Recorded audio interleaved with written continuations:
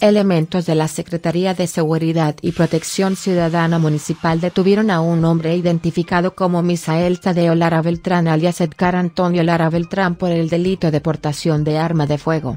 Fue alrededor de las 17.13 horas de jueves 18 de noviembre cuando agentes de la corporación realizaban un recorrido de vigilancia por las avenidas de Labeto y Cordilleras en el fraccionamiento Urbivilla del Prado segunda sección, y detuvieron al individuo de 20 años de edad, quien traía un arma de fuego calibre 9 milímetros, color negro, con la leyenda R51, y un cargador de metal con seis tiros útiles.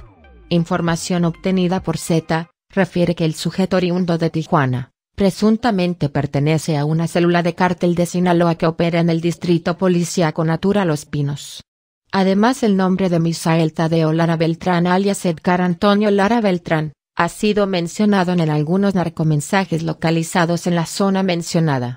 Fue el pasado 26 de octubre cuando en la colonia Urbivilla del Prado rafaguearon un domicilio situado en la calle Calvario, y los atacantes dejaron el siguiente mensaje, Misael Beltrán, deja de estarle pegando a familia, y gente inocente aquí es, cabrón con cabrón, que tú también tienes familia atentamente.